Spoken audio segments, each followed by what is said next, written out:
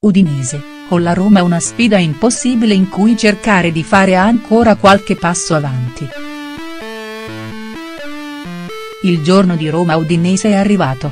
I friulani, in difficoltà, vanno in casa di una delle squadre più forti del campionato. Andare a punti è un po' impensabile, ma pretendere che ci sia qualche miglioramento, soprattutto in difesa, è quantomeno doveroso. Questo un po' quello che si chiede alla squadra e anche a mister Del Neri, messo in forte discussione dai giornalisti, che parlano di un'ipotesi rea di un Ballardini già disposto a prendere il suo posto. Però questo accrocchio di giocatori deve diventare squadra e capire che bisogna remare tutti dalla stessa parte, perché siamo alla sesta giornata, l'Udinese è ferma al quartultimo posto con solo tre punti e il calendario presenta in serie squadre sempre più forti. Del Neri in conferenza stampa è stato chiaro. Si sente in discussione, perché alla fine contano i risultati, ma è certo che il lavoro alla fine pagherà. Si spera che abbia ragione. Per dare continuità, non ci sarà turnover, ma giocherà chi sta meglio. La continuità è solo teorica, perché dire chi sta meglio fisicamente e mentalmente in questa squadra è difficile.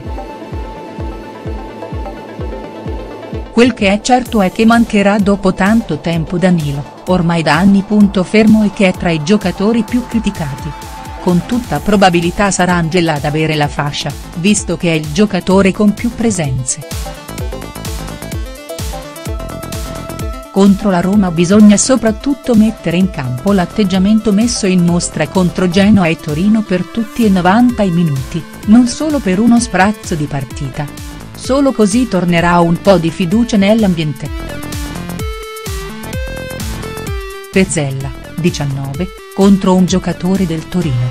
Del Neri vede aggiungersi alla lista degli infortunati anche Danilo, ancora in attesa di risonanza magnetica in stampelle, e Pezzella, che è convocato ma ha qualche problema ai flessori.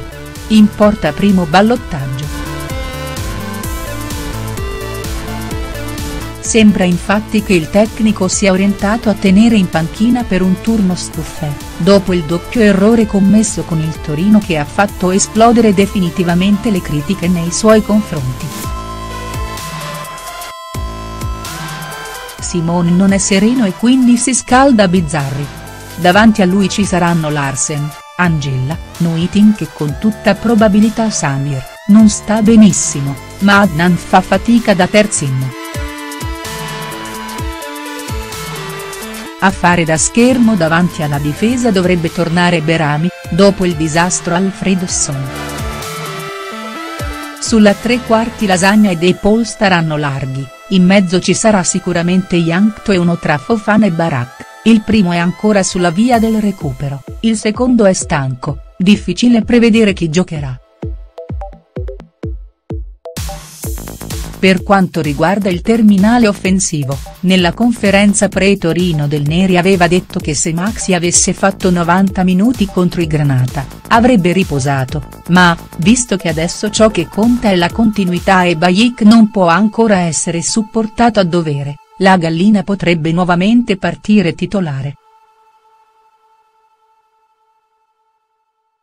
Scuffè, 21, contro il Genoa. Portieri, Bizzarri, Scuffè, Borsellini. Difensori, Samir, Angella, Nuiting, Striger, Ali Adnan, Bokniewicz, Pezzella.